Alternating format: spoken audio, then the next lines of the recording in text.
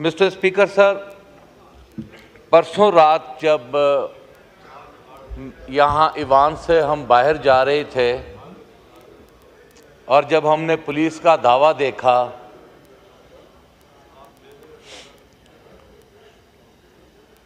Doctor साहब sir, please.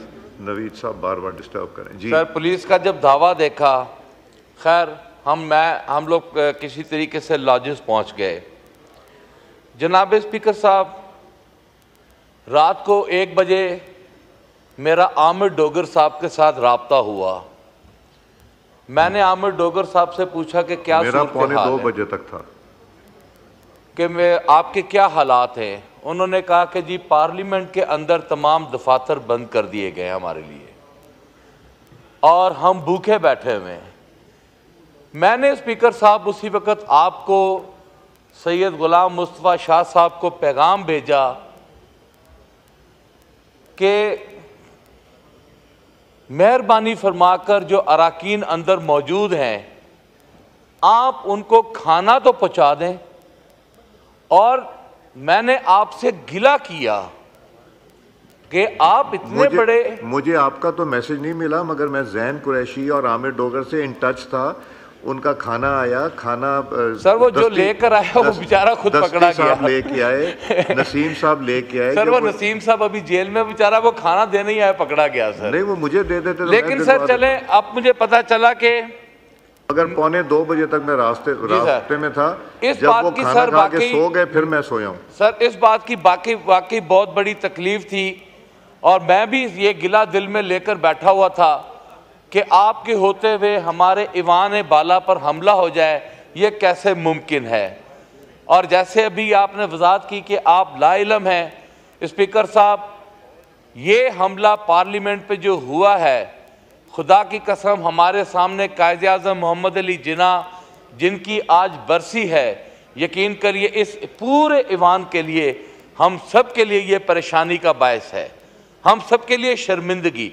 और मैं आज पाकिस्तान पीपल पार्टी, ख्वाजा आसिफ साहब एम क्यू एम तमाम जमातों का शुक्रिया अदा करना चाहूँगा कि आज हम एट लीस्ट एक एजेंडे पर इकट्ठे हुए हैं कि इस पार्लियामेंट की सुपरमेसी, इस पार्लियामेंट की बालादस्ती के लिए तमाम जमातें जो है जे यू आई के यहाँ पर हमारे साथी बैठे हैं। हम सब एक प्लेटफॉर्म पर हैं और ये हमारा फ़र्ज़ बनता है।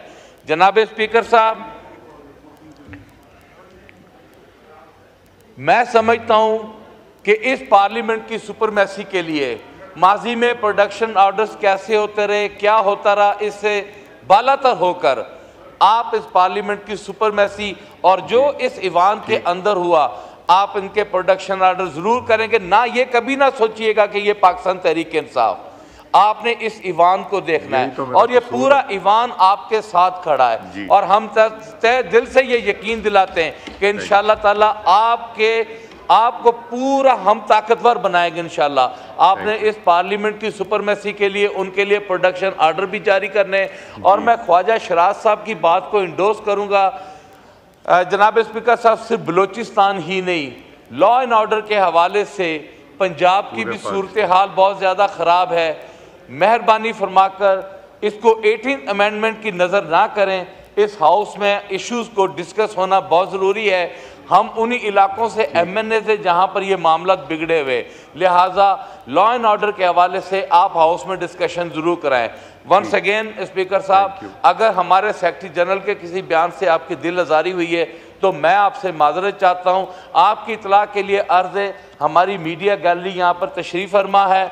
जिस वक्त हमें पता चला कि मीडिया गैलरी जो है हमारे सीएम की जुबा, जो स्पीच है उसके नाला होकर वॉकआउट करने जा रही है।